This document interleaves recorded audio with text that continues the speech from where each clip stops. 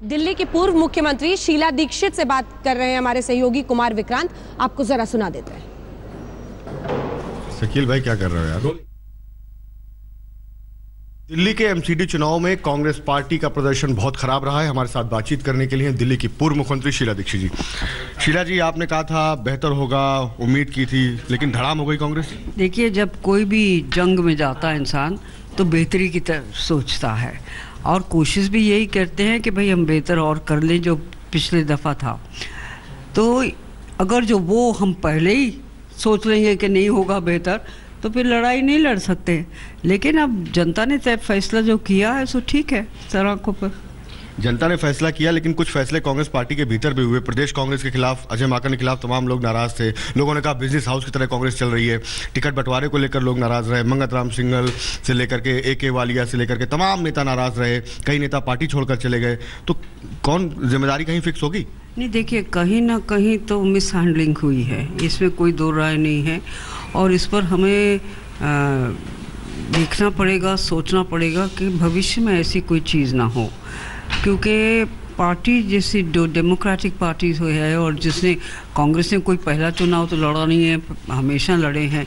और एक तौर और तरीका होता है चुनाव लड़ने का, जिसमें जो नाराज़ भी हो उसको भी अपना बना लेने की कोशिश की जाती है। तो जिसमें रिज़ल्ट अच्छे आए। अब वो चीज़ें अगर जो नहीं अपनाई गई तो कमज़ोरी तो है ही है। शीला जी कहा गया कि 10 साल बीजेपी एमसीडी में थी उनके खिलाफ एंटी इनकम्बेंसी थी केजरीवाल सरकार से नाराज़गी थी। उसके बाद भी कांग्रेस का इतना खराब प्रदर्शन? ये बात आप सोच रहे हैं इस बात सही है लेकिन एंटी इनकम्बेंसी के पास ज़रूर थी लेकिन इस वक्त एक माहौल पूरे देश भर में ऐसा चल रहा है कि जहाँ पर भी बीजेपी है वहाँ पर वो बीजेपी को वोट कर रहे हैं। एक दौर है हिस्ट्री का। ये नहीं कि ये हमेशा के लिए रहेगा ख़त्म भी हो जाएगा देखेंगे क्या होता है। लेकिन ये हमें कबूल करना पड़ेगा कि हाँ भाई रहा है इस तरह का दौर। सवाल में वहाँ पर आ रहा है कि केजरीवाल की जो पार्टी है उससे कांग्रेस पिछड़ती दिख रही है। नंबर तीन पर थे तीन पर हैं। देखिए केजरीवाल जी को तो इस चुनाव में जो वो कह रहे थे, हालाँकि पहले ही उन्होंने कुछ बहाने शुरू कर दिए थे कि जीतेंगे हम और हम बिल्कुल जीतेंगे और डेंगू के बारे में और पता नहीं क्या कुछ कहा था उन्होंने, चिकनगुनिया वगैरह।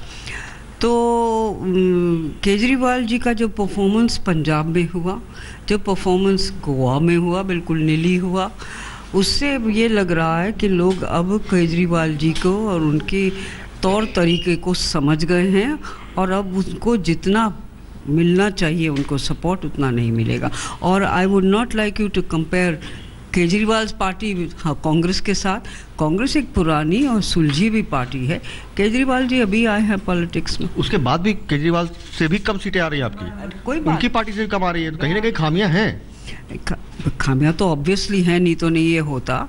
अब इस खामियों पे हमेशा सोचा जाएगा और देखा जाएगा कि क्या सुधार लाना चाहिए और कहाँ हमारी गलतियाँ हुई। जिम्मेदार कौन है और क्या ज़िम्मेदारी फिक्स होगी शीला जी? ज़िम्मेदारी तो वही होगी जो चल संचालन कर रहे थे इसका।